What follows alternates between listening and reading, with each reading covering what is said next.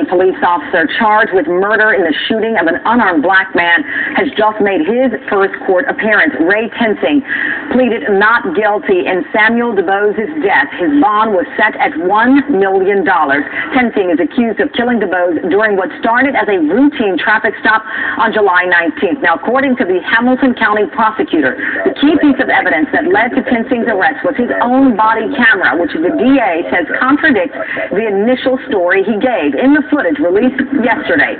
Tensing approaches DuBose's car after pulling him over for a missing front license plate. He asks DuBose for his license, which DuBose says he does not have on him. The situation escalates when Tensing asks him to get out of the car. Well, I thought I could figure out if you have a license, license or not. Go ahead and take your seatbelt off for me. I didn't do that. Go ahead and take your seatbelt off. Now, Within a matter of seconds, the officer pulls his gun and shoots DuBose in the head. Tensing later told the responding officers that he was dragged by DuBose's car, but yesterday the Hamilton County District Attorney said that was not the case. I've been doing this for over 30 years. This is the most asinine act I've ever seen a police officer make.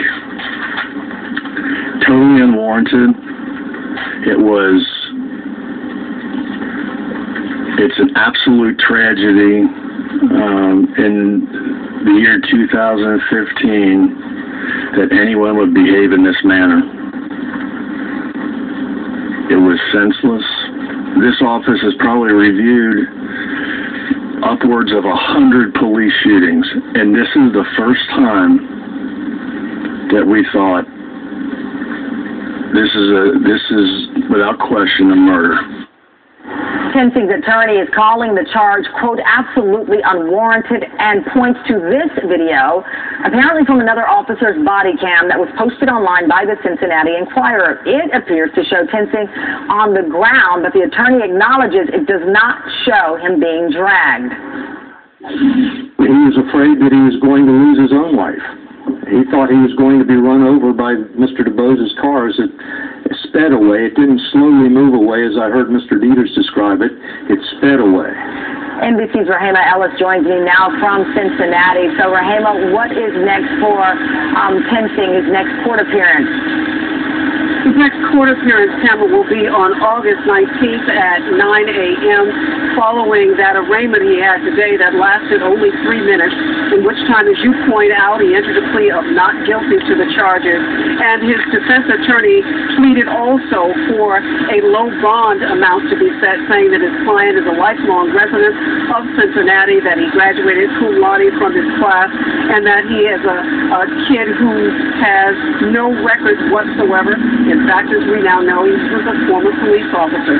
The judge said in this particular instance, because it was a murder case, she set that bond at $1 million. And in order to get out on bail, this uh, defendant now will have to come up with at least 10% of that, and that's about $100,000, Tamara. And Rehema, we could tell from the press conference yesterday with the mayor and prosecutor, other city leaders, um, this city is trying to, I think in their words, get right what other cities have gotten wrong in the handling of these incidents through the judicial system as well as the understanding of how the community sees these um, acts against unarmed individuals in most, or if not all cases that we've covered as of late, African Americans.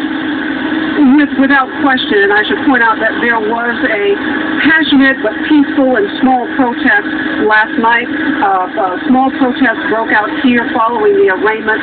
There were officers out just in case some kind of violence erupted. None of that happened. To your point about authorities trying to get ahead of this, the family of the victim, Samuel DuBose's family, has called for people to be peaceful in their protest, saying he was a peaceful man and would not like any violence to erupt in his name. They are also calling, I should tell you, Cameron, that the other officer who witnessed this and who was siding with Ray Tensing, saying that Tensing was being dragged and feared for his life, protesters are saying that officer should also be charged for, in their words, not telling the truth.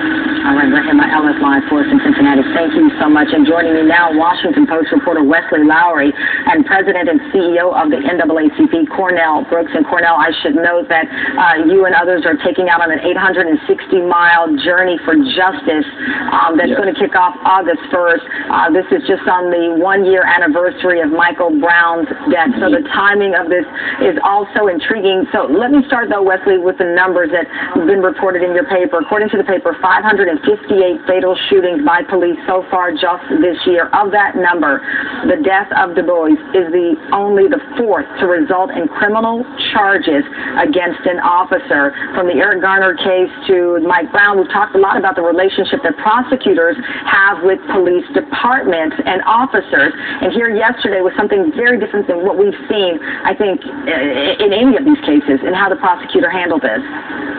Course, and it speaks to the power and the impact of cameras.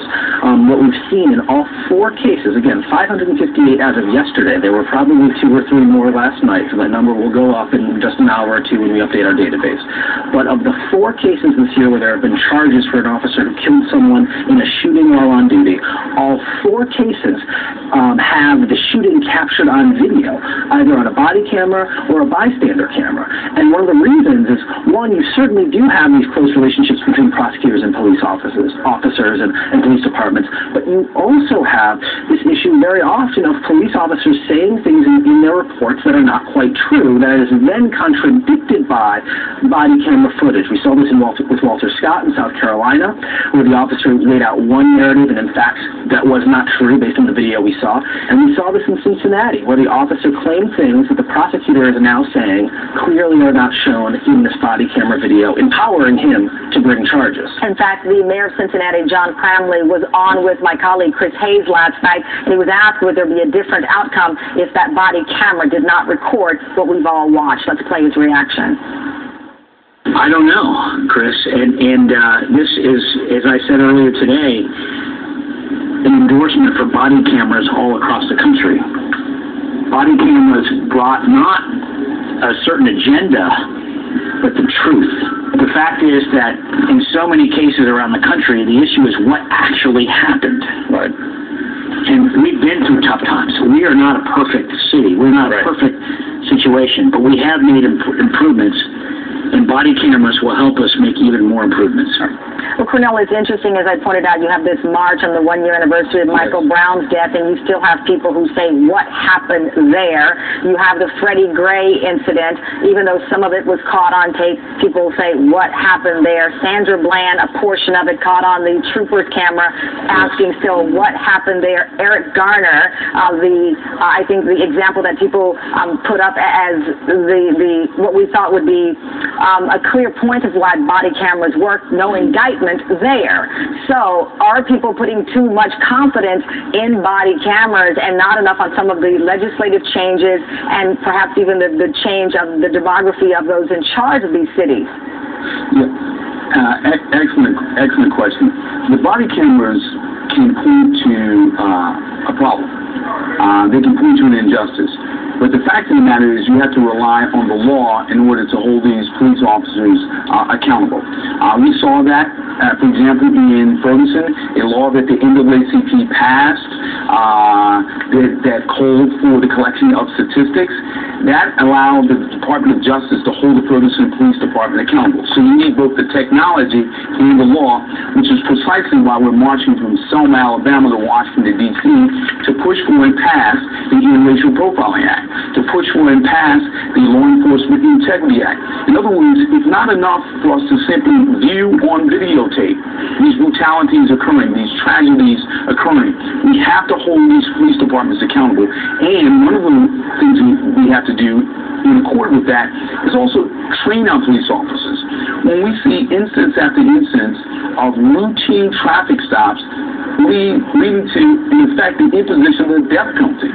So if you miss a turn signal, if you uh, are missing a license plate, or you're not carrying your your driver's uh, registration, you're subject to the death penalty, that is a patent violation of our constitutional and our moral values. And so the point being here, uh, we're in a moment where we, it's not enough for us to simply watch the videotape. We've got to change the laws, which is why we're taking thousands of people into Washington, beginning with August 1, landing there September 16th in D.C., and we're going to walk the halls of Congress by the thousands to change uh, racial profiling in this country. And, and Wesley, let me bring in again these numbers that you have reported of the four um, criminal charges that were uh, filed against police officers in the death of a citizen.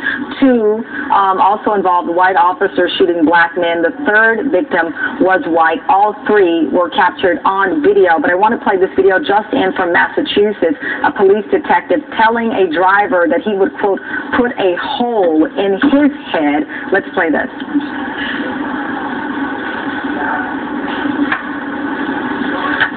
So we're working to get that video. I thought they had it ready for us, but um, as I the video, um, which has been played a lot this morning, there's a, an officer in plain clothing. Uh, let's play it, please.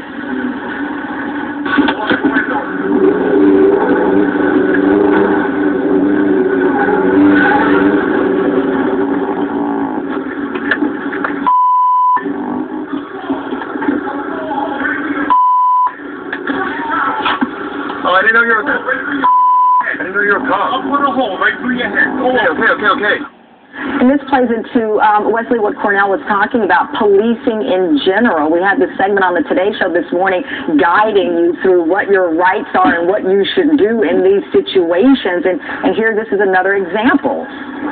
Of course, and this cuts two ways. First of all, you have what people believe their rights are um, in these circumstances with police officers, and unfortunately, many of us, including myself, prior to Sandra Bland and some other cases, are in fact misinformed about what some of our rights are during these interactions. That our laws give police officers very broad protections. In fact, they can order us out of our cars basically for any reason, according to legal experts I've talked to. And, and so, if you have these situations arising because of that, um, and that creates a separate conversation about maybe what some of those rights of officers should and should not be, but then also a culture of policing and tactics. I remember talking to police experts um, as we do this police shooting database and talking about the idea of even in cases where you have an armed victim, someone who's with a gun who's shot and killed by the police, very often police officers are chasing them through a backyard, jumping over a fence, and then finding themselves in an alley with someone with a gun. So this idea that in many of these cases there might be tactics, de-escalation tactics, simply letting the person flee or, or getting away that might lead to the preservation of life. And so what we have, had, we're having a conversation currently nationally about what we want our police to be valuing. Is it preservation of life? Is it something else? Uh, and that's a conversation we're, I think, currently beginning to have. All right, thank you, gentlemen, for your time. Wesley Lowery, as well as the president and CEO of the NAACP, Cornell Brooks. Thank you both. Greatly Thank you. Still ahead, the search goes on, but hope is fading as two Florida